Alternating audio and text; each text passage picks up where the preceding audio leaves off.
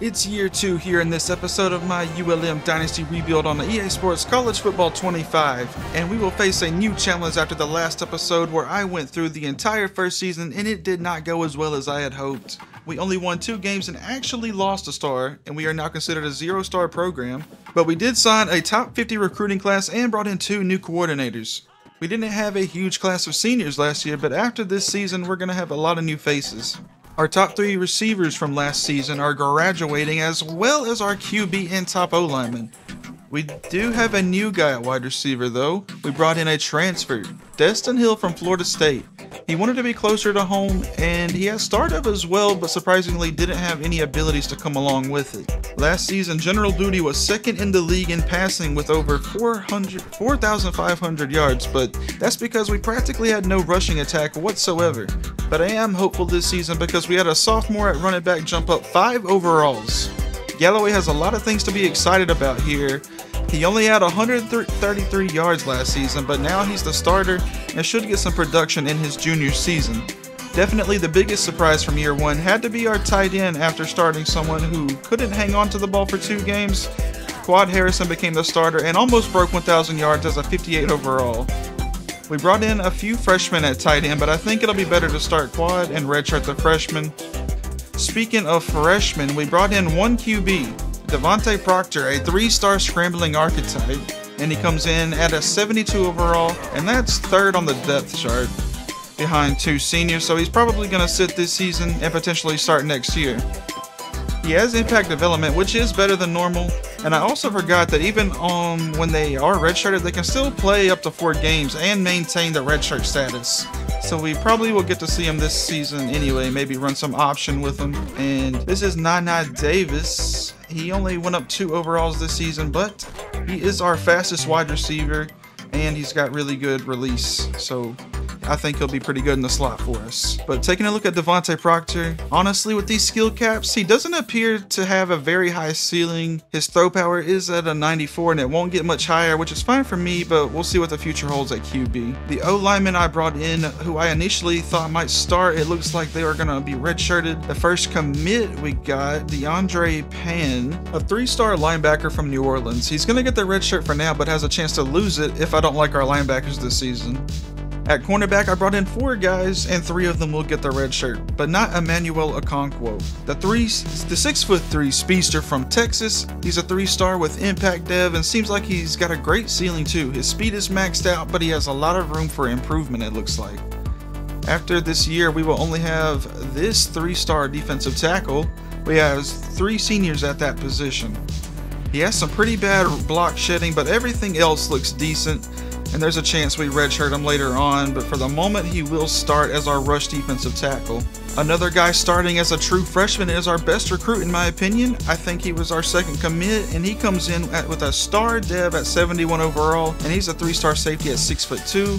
He's better in man than zone, but with 97 speed, I think he can make up for it. So he'll get the captain's patch. And probably our most improved player in the offseason is Jaden Hamlin, our defensive tackle. He jumped up 9 overalls and has 99 strength now. He's going to be our anchor on the D line and also a captain. Oh, by the way, I'm going to be showing the recruiting board after the first game just because it changes a lot between preseason and week 2, so make sure you stay to the end to see that.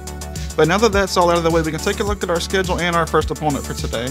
Our first game is against Akron at home, but then we will go on the road to Tuscaloosa to face Alabama. I don't think I altered the schedule much, if at all. The only two teams we were able to beat last year will be our final two games of the season. Both of those were close games, but I think we will be much better this season. Let's look at Akron's roster real quick. They have quite a few players in the 80s, but they aren't as highly rated as us. At defensive end, they have Jalen Taylor, an 81 overall redshirt freshman. He'll be looking to disrupt our plans today. They didn't get many, but this is their best recruit by far, JT Kanoy. I would have loved to have landed this guy. He's got a lot to like. A pass coverage specialist with 88 speed. But here we are in Monroe, Louisiana for week one of year two in the Warhawk Dynasty. This episode will only be one game, but next video will likely feature two games as we play Alabama in week two on their turf. And Akron starts on offense, and the Warhawks look to have some personnel mixed up and players not playing in the right positions. So I have to fix this real quick. And after editing my roster for five minutes, after doing it for five more minutes before the game, Akron will hand this one off to Charles Kellum once more. And um, third down and three, they hand it off to him again. He'll pick up the first down. Three for 30 today. Now he's going to look to pass. This will be caught out right and quickly brought down by Josh McAfee, the true freshman. And quick pressure from the middle. That's Jalen Hamlin. Jaden Hamlin, sorry. He'll bring down Ripley. Finley. Oh my goodness, I'm not good with names right now. But on third down and 15, Finley gets hit hard, passes the ground, they have to punt it away on fourth and 15. But it'll be a good punt down at the 13 and a false start on first down. So they hand this one off to Ben Galloway and he'll get 15 back. Good rusher there. Now it's second down and inches. Gonna take a shot deep for Hill, and this will be broken up. He was looking for Destin Hill since it was just inches. But on third down, they hand it off, get the quick first down. Hand it off to Ben Galloway again. He'll be brought down after a gain of four. Second down and six here. Booty's looking underneath, and this will be broken up, and the receiver was hit as well.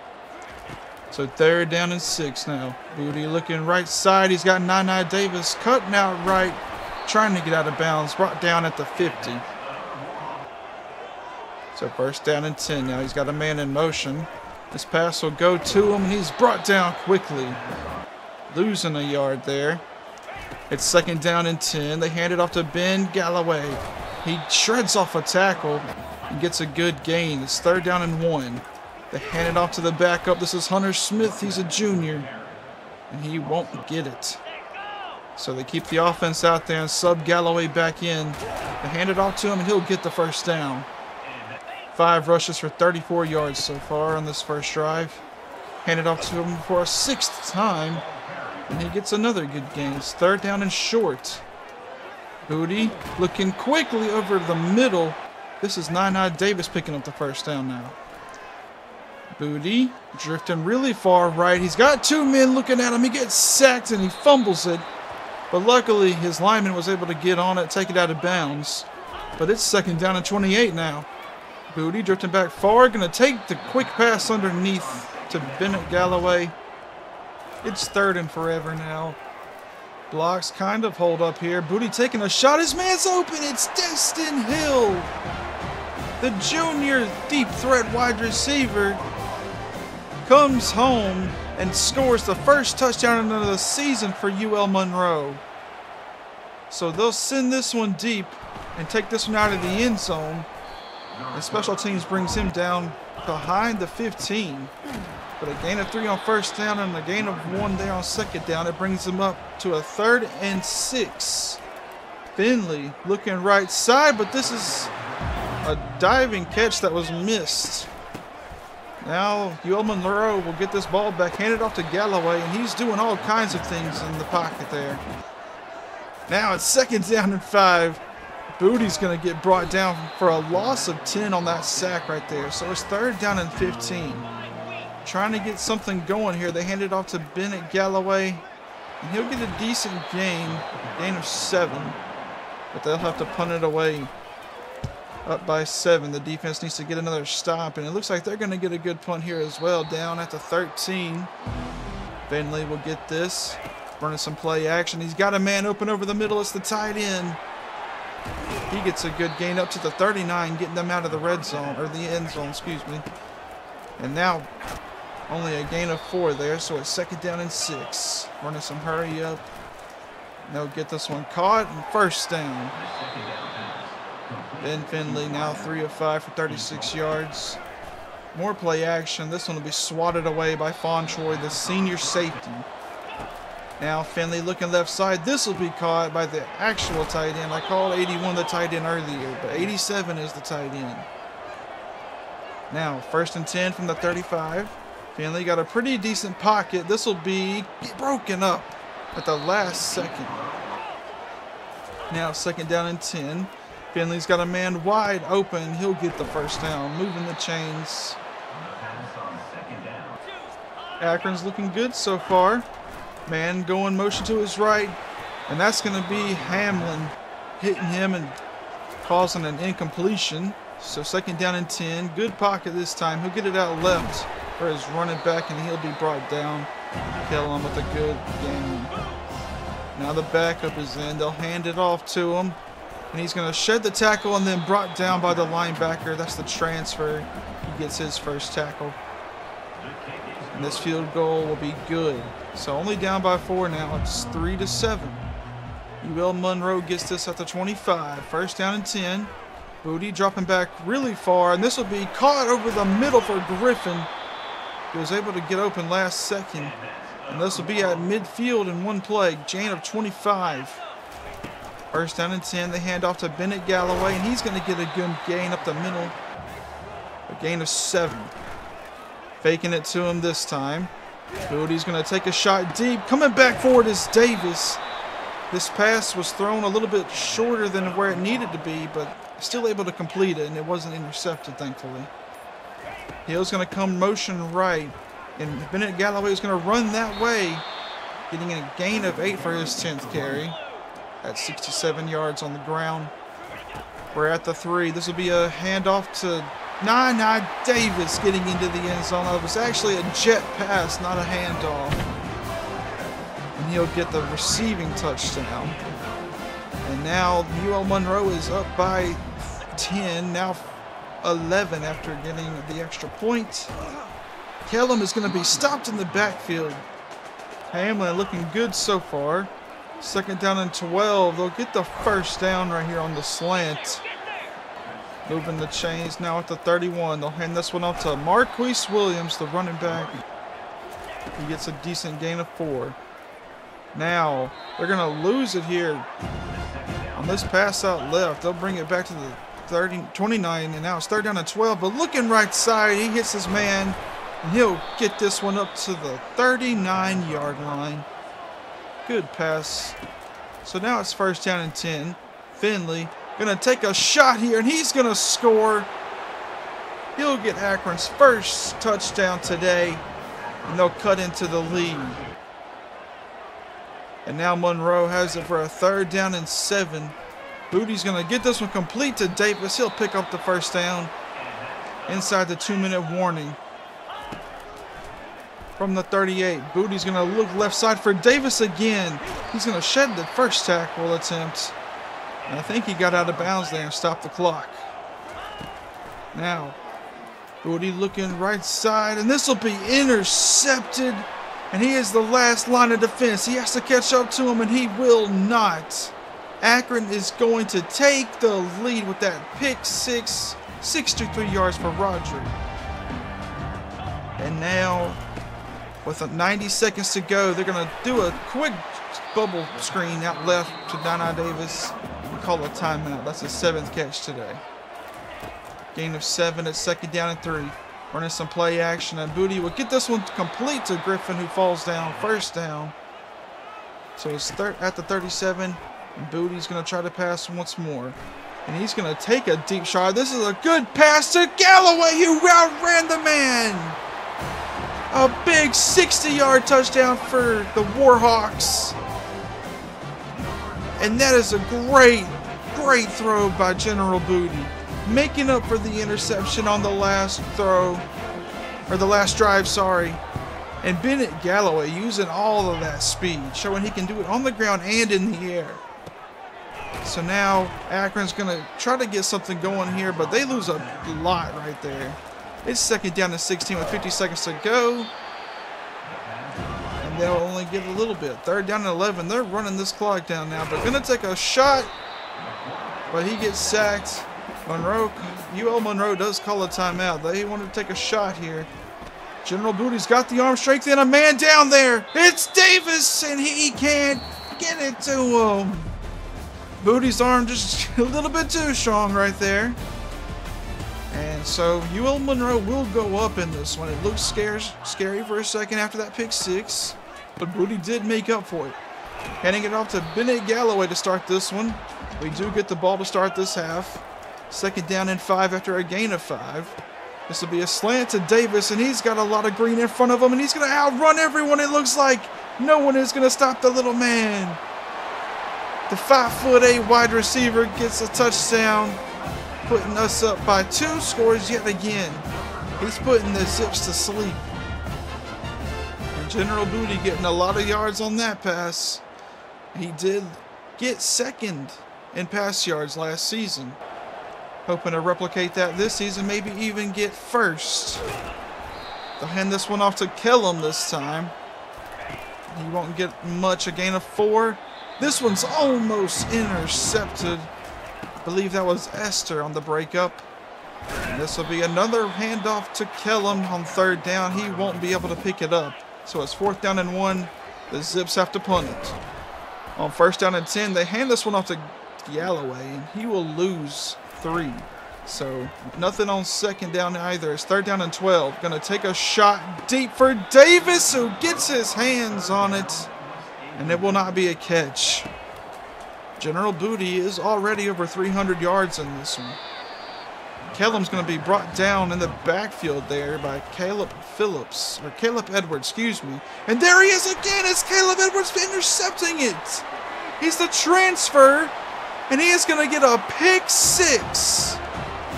So the defenses will trade pick sixes in this one. And the Zips are now down big all of a sudden.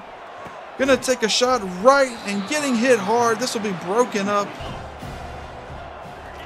Now Finley on third down and three. Got his man open on the drag. He's got the catch and run here. Getting hit hard by Josh McAfee. He's got quite a few tackles already in this one. On the screen here, they're going to get a few. Good gain of seven, actually. But it's third down and inches now. They're going to hand it off to Kellum. And he is going to get it, shedding the tackle and fighting forward. Good gain on the ground for him his ninth carry of the game. At the 37, they'll hand it off to him once more, and he's going to shed another tackle. And Fontroy's giving chase, but he won't catch him. Kellum will get his first score on his 10th carry today at 93 yards so far. Trying to cut into that lead and give their offense and defense a chance. Galloway's going to get this carry on second down, getting a gain of four. He's a little bit shaken up, showing that wear and tear quickly to Nana Davis on the drag. He'll get the first down. Booty, four touchdowns, one interception so far in this one. Gonna run a screen for Galloway, trying to follow his blockers and get back inside, but maybe made a should have stayed outside on that one. Running the jet sweep for Nana Davis here on third down, but he won't get it. He got close, but it's fourth down and two. Have to punt it back to the Zips, and Finley's going to keep this one on the option. Josh McAfee gave chase and stripped it from him. And this will be picked up by the big jump, uh, our corner that had a big jump in the offense, Leonard Harris. He'll pick it up, but how about Josh McAfee using that 97 speed to get to Finley and strip that ball from him on the option? That's exactly what we want to see. Booty's going to run some play action and throw this one before he gets hit. Looking for the freshman, but he almost got sacked, able to get the ball away. And now man open downfield is Davis. Up the seams, he was wide open. No one there for him. We will go up by three scores yet again. This offense looks electric. And I just want to show that I am playing on Heisman. I don't want anyone to say that I switched the difficulty or anything. You can see in the last video all the settings that I will use for this series. I'm using Mr. Hurricane sliders. On first down and 10 here, they're going to hand it off to Charles Kellum. He'll be brought down in the backfield by Caleb Edwards. He's had a good game today. And this one's going to be intercepted by Godsey Jr. I've been calling him a completely different player this whole time. And the senior will get this first interception of the season. He did very well for us last season. He's doing well already in this first game, starting at number one spot for us. And Ben Galloway looked like he wanted to get up and run with it right there. He was close. They'll hand it off to him here again, trying to bust this one out left side, but he'll get brought down. It's third down and three. Going to hand it off to him yet again. Still showing some wear and tear, but that's not going to affect him right now. Using that 92 speed, he'll get pushed out of bounds, never brought down. And now on the bubble, they'll get this one out to Nana Davis. He's got 92 speed too. And he'll get brought down all the way at the one. We'll hand it off to Bennett Galloway, who's going to get into the end zone, increasing that big lead. And how about this offense? They looked good last year, but they are showing no signs of slowing down, and the defense is showing that they can step it up and play good too. I am loving this. This is a, such a breath of fresh air after last season. And now, Akron's got this ball at the 19, now at the 29 after the gain of 10, but it's second down in inches. Finley's going to look right side. He's got this one complete. Sheds the tackle and quickly tracked down. Brought down at the 47, just about midfield. Here's third down and five. And they're going to get this one complete. Picking it up and moving the chains. It's first and 10. Finley's got his man open and complete another first down. At the 29 now. ULM's running some good zone coverage this play and not going to be able to intercept it. There was a man in the area, maybe two. And somehow he was able to get the touchdown through them. It's 49 to 31 though running another screen out left for Nana Davis. That's his 13th catch. He is at 258 yards in this one. Now running the jet sweep for Tyler Griffin, trying to get him involved. That'll put Booty over 400 in this one. Handing it off to Galloway here, showing he's still good to go in this one. 21 carries, over 100 yards today. And here goes Destin Hill, his second catch of the game. He's going to get a first down, showing us a good burst of speed. And here comes Hunter Smith. I believe the backup should be in the game now. No, not just quite yet. They want to keep the starters out there. But with Benny Galloway getting hurt right there, you got to think they want to make some substitutions, and they do. The senior quarterback Herring is out there. His first pass isn't going to be a good one. It'll be incomplete.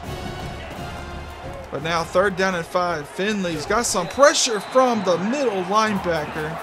He's going to be brought down by O'Malley.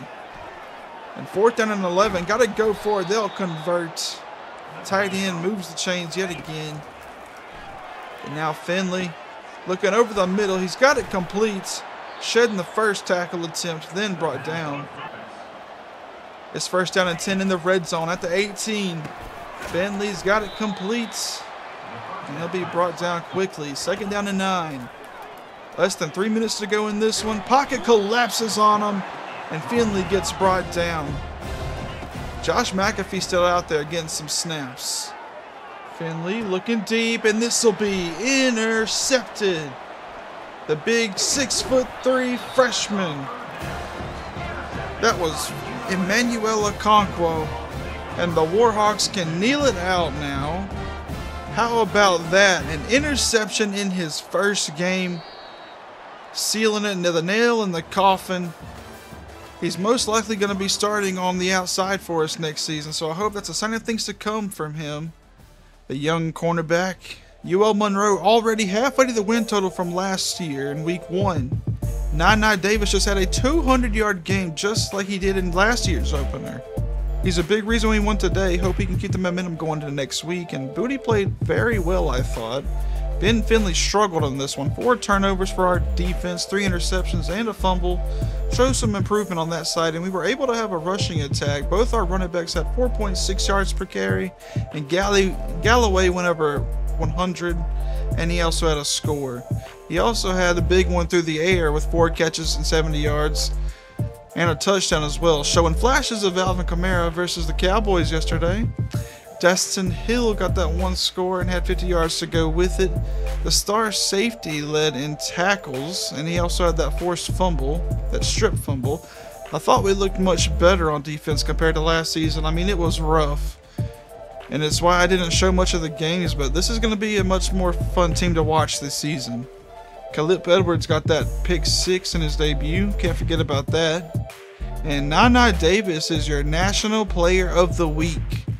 He and Caleb Edwards will also be Sunbelt Players of the Week. So this team is getting some nice attention early, and next week we'll go get to broadcast to thousands of people in Tuscaloosa, which will be good for recruiting. Which we'll talk about now. We have three seniors at running back, so I definitely have my eyes on a few early. Canada has no one interested in him early, so he's definitely going to be one of my main guys I target first. He's faster than all our current running backs with 93 speed, and he has 84 carrying and 85 change of direction as well. I think he has a lot to offer us. And now we got some scouting to do at wide receiver. George Montero, 6'5", kind of resembles Tyler Griffin. So I'll offer him a Scully. He's got 88 speed just like Tyler Griffin had in his junior season. He went up two in the offseason, so he's at 90 now.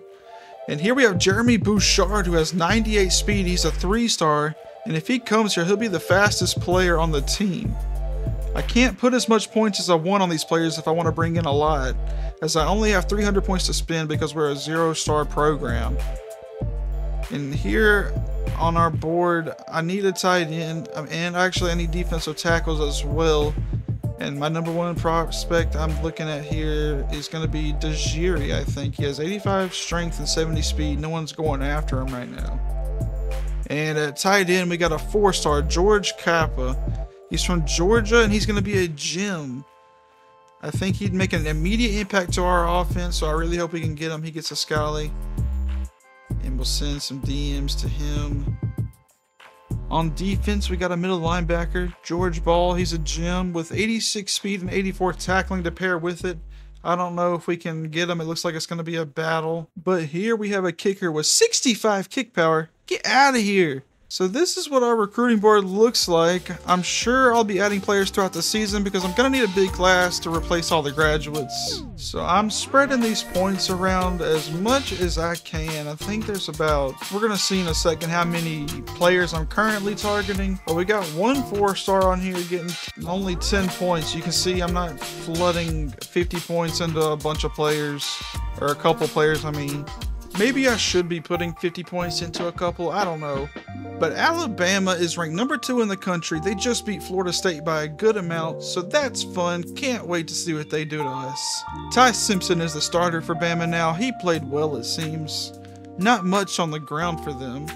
Pretense, Bernard, and Law all cut touchdowns for them. Pretense went over 100. Not a huge day for the defense. They had three sacks, no interceptions, but they had two fumbles and four recoveries. That that looks weird, but anyways, I'm confident we can move the ball some, but the question is can we keep up with them and get stops on defense? You'll have to find out on the next episode of the ULM Warhawks Dynasty, so make sure you subscribe so you don't miss anything. And if you've made it this far, please don't forget to leave a like. It helps let me know you're enjoying the content. That's going to do it for this one. Peace.